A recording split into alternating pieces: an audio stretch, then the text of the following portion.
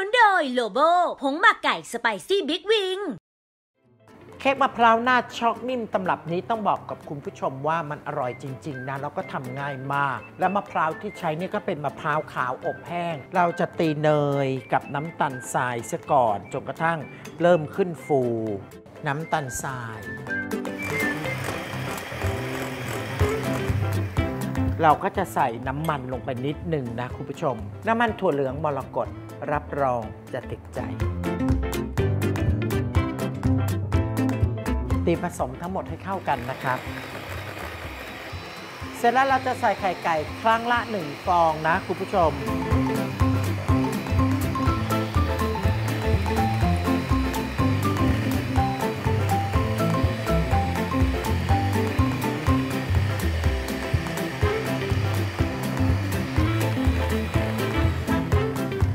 ผสมผสมของเนยขึ้นฟูคุณผู้ชมครับ สิ่งที่สำคัญนั่นก็คือแป้ง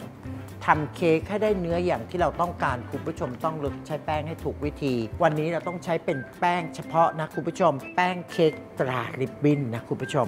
อันนี้สำหรับการทำเค้กเนื้อละเอียดนุ่ม และมีคุณภาพดีโดยเฉพาะ ใส่แป้งข้าวโพดลงไปนิดเดียวนะคุณผู้ชม ตามด้วยผงฟู เกลือป่นเสริมไอโอดีน เสร็จแล้วก็จัดการเขย่าเขย่าซะพอเข้ากันนะคุณผู้ชม เราก็เทลงไปในส่วนผสมที่เราตีเนยกับไข่ไว้ พอส่วนผสมตรงนี้เข้ากันนี่ลักษณะจะเบาเบานะคุณผู้ชม ก็เลยอยากจะบอกว่าวันนี้ขอใส่อันนี้นะคุณผู้ชมอัมพวากะทิอบควันเทียน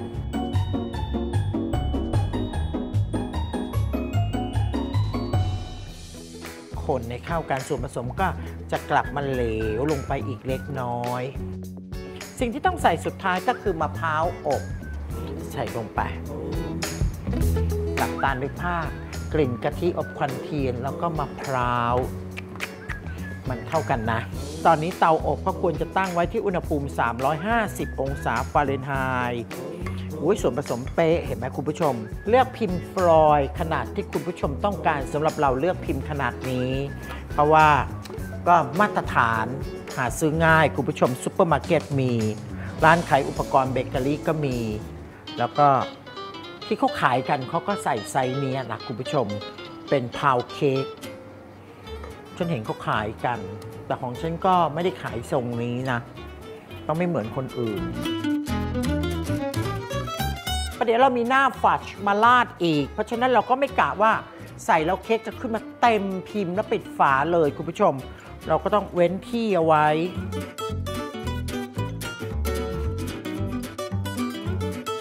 นำเข้าเตาอบประมาณครึ่งชั่วโมง พักไว้จนเย็นเดี๋ยวเรามาราดหน้าฟัดกันนะครับใส่โกโก้ผงลงไปในหม้อ ตามด้วยน้ำตาลทราย ผงสำหรับทำวุ้น คนทั้งหมดให้เข้ากันก่อน พอคุณผู้ชมใส่ทั้งหมดลงไปเสร็จเรียบร้อยก็นมข้นจืดใส่นิดเดียวก่อนนะคุณผู้ชมนะ คนให้มันหนืดๆก่อน มันจะได้ไม่ลอยตุ๊บป่องตุ๊บป่องไงคุณผู้ชมเนี่ยพอมันข้นหนืดๆพอเราใส่ทีจะไม่มีทางลอยเลยนี่ยังไม่เปิดเตานะ เห็นไหมคุณผู้ชมส่วนผสมเหลวหมดละ เอาละเราก็ใส่นมลงไป พอส่วนผสมทั้งหมดเข้ากันแน่ใจไม่มีติดก้นหม้อและส่วนผสมไม่เป็นลูก เราก็จะเปิดเตานะคุณผู้ชม ไฟอ่อนๆอย่าไฟแรง หม้อมีด้ามแบบนี้ก็กระจายความร้อนดี เอาละเอาละคุณผู้ชมส่วนผสมตรงนี้กำลังใกล้จะเดือดนะคุณผู้ชม เสร็จแล้วแป้งข้าวโพดที่เราละลายน้ำไว้ ร็จแล้วก็รีบคนให้เข้ากัน เอาละพอมันเริ่มจะข้นนะคุณผู้ชมนะ เราก็จะใส่เนยสดลงไปหรือมาการีน เริ่มข้นแล้วนะคุณผู้ชม ถ้าหากว่าทิ้งนานไปส่วนผสมเดือดมาก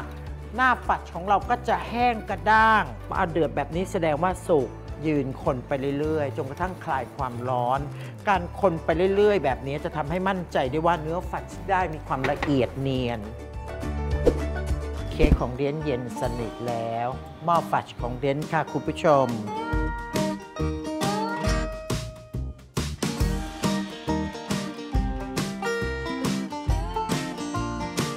มะพร้าวค่ะจำได้ไหมคะเดียนใส่ลงไปในเนื้อขนม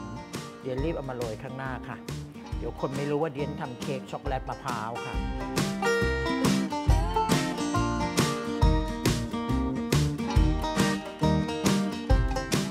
น่าทานมากเลยค่ะ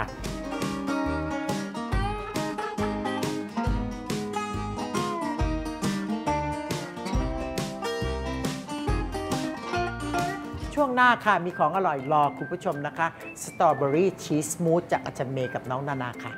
อดเปรี้ยวกินหวานสัปดาห์นี้เอาใจคนรักสตรอเบอรี่ละเราสองคนมีเมนูชื่อว่า strawberry cheese mousse มาฝากกันค่ะ ช่วงอร่อยโดนใจสนับสนุนโดยผงวุ้นตรานางเงือก วันนี้เราขอเสนอเมนู เค้กวุ้นทะเล นำ butter cake วางบนแผ่นอะคริลิกเกลา butter cake เป็นทรงภูเขาตามใจชอบ ใส่ dark chocolate ละลายลงในภาชนะตามด้วย whipping cream คนให้เข้ากัน จากนั้นนำ chocolate ganache ทาให้ทั่วชิ้นเค้กนำเนื้อเค้กที่เหลือจากการเกลาผสม chocolate ganache เล็กน้อย ปั้นให้เป็นรูปเกาะวางตกแต่งด้านบน butter cake ทา chocolate ganache ที่ตัวเค้กให้เป็นเนื้อเดียวกันนำ white chocolate ละลายมาตกแต่งรอบๆเค้กนำเข้าแช่เย็น เกร็ดความรู้การทำวุ้นก่อนเทส่วนผสมวุ้นควรนำเค้กไปแช่เย็นให้ทรงตัวก่อน เพื่อป้องกันไม่ให้ช็อกโกแลตที่เคลือบปนลงมาในวุ้นทำให้วุ้นไม่ใส ใส่ผงวุ้นตรานางเงือกลงในภาชนะตามด้วยน้ำตาลทราย เกลือป่นเสริมไอโอดีน และน้ำคนผสมให้เข้ากันนำขึ้นตั้งไฟปานกลาง คนตลอดเวลาจนส่วนผสมเดือดทั่ว ปิดไฟแล้วเติมสีผสมอาหารสีฟ้า คนให้เข้ากันอีกครั้ง พักไว้ให้เย็น ครอบพิมพ์วงแหวนที่เตรียมไว้ลงบนบัตเตอร์เค้กที่แช่เย็น แกะพิมพ์ถนอมอาหารที่รองฐานหุ้มพิมพ์วงแหวน และใช้สกอตเทปใสปิดให้แน่น เทส่วนผสมวุ้นสีฟ้าลงในพิมพ์จนเกือบเต็มนำเข้าแช่เย็นจนวุ้นเซ็ตตัว แกะออกจากพิมพ์แล้วจัดใส่ภาชนะ ตกแต่งด้านบนด้วยบิสกิตบดละเอียดที่เตรียมไว้ พร้อมเสิร์ฟค่ะกับเมนู เค้กวุ้นทะเล เมนูโดนใจจากผงวุ้นตรานางเงือก